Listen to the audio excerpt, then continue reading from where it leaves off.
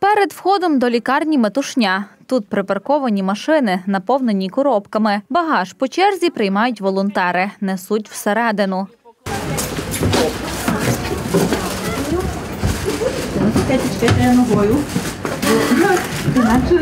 У холі відділення травматології Олексій розкладає стіл. Починаємо процес. Саме сюди несуть пакунки, відкривають їх. На лісні. Даже, да? Та чути, що м'ясо. У всіх цих коробках їжа, все домашнє, смачне. Волонтерки Закарпаття самостійно готували смаколики. Як виявляється, частують ними поранених військових, що лікуються в області.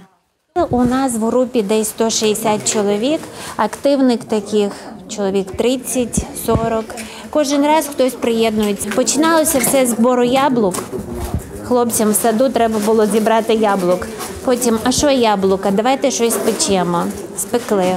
Ні, ну спекти то таке, а у них же там ну хочеться якоїсь домашньої смачної їжі. А давайте я олів'є зроблю. І так почалося. По- Уже от ця група закрутилася настільки помагаторів, що е, готують, готують все більше і більше, і смачніше, і смачніше. Так що ну, впоследствии ми після перемоги, напевно, будемо відкривати свій ресторан.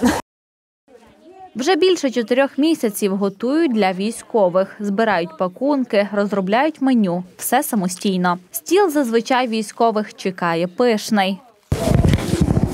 Дивнушку, щоб хлопці поправляли, блінчик з м'яском, гомбол і хачапурки. Але зараз буде ще і солодке. Це розноситься зараз у нас тільки якби друге блюдо.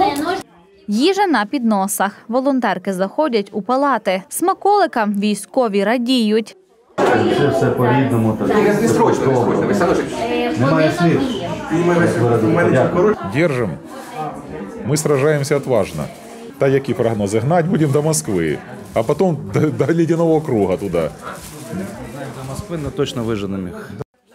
Волонтери намагаються створити домашню атмосферу для бійців, аби ті відчули турботу. Приходять у лікарні краю щоп'ятниці. кажуть, це найменше, що можуть зробити для воїнів, що ризикують життям заради миру в Україні. Смачного, хлопці. Тримайтеся, все буде добре, все буде Україна.